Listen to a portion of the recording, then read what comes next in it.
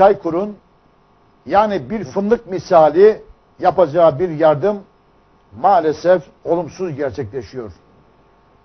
Biraz önce okudum.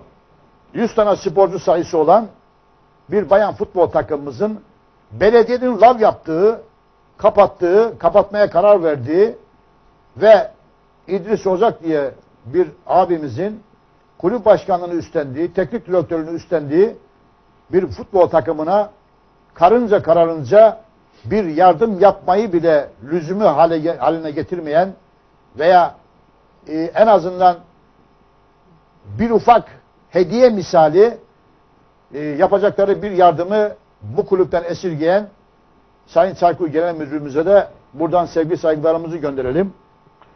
Arkadaşlarımız gitmişler Sayın Genel Müdürümüze. Onu da ben aktaralım. Sayın Genel Müdürümüze Sayın Başkanımız gitmiş. Yanında da bir tanıdık sima var. Ee, Sayın Genel Müdürümüze kulübümüzün durumunu anlatmışlar.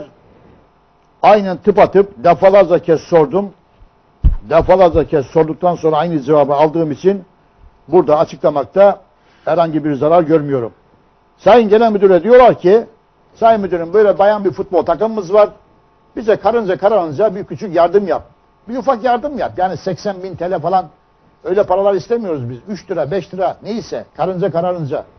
Sayın Genel Müdürümüzün cevabı bayan sporculara yardım etmem günahtır. Bayan sporculara yardım etmem günahtır. Onun üzerine Ardeşen Handball e, kulübü Gençlik Spor Kulübü'ne yardım ediyorsunuz diye sorunca evet oraya yardım yaptım ama yaptığım için de pişmanım. Bundan sonra da yardım yapmayacağım diyor ve Sayın Genel Müdürümüz Çaykur Genel Müdürümüz e, bu mevzuyu bu şekilde kapatıyor. Bayan sporculara yardım etmem günahmış. Vallahi aynı söylediklerini söylüyorum ben burada. Ne bir eksik ne bir fazla. Efendim bayan sporculara eğer yardım yapmasa günahsa Sayın Cumhurbaşkanımız bayan sporculara niye yardım ediyor o zaman? Yani genel müdürlük, Gençlik Spor Genel Müdürlüğü, e, spordan sorumlu devlet bakanlığı niye bunlara yardım yapıyorlar? Bu kadar bayan sporcularımız var. Handball var, basketbol var, voleybol var. Var oğlu var.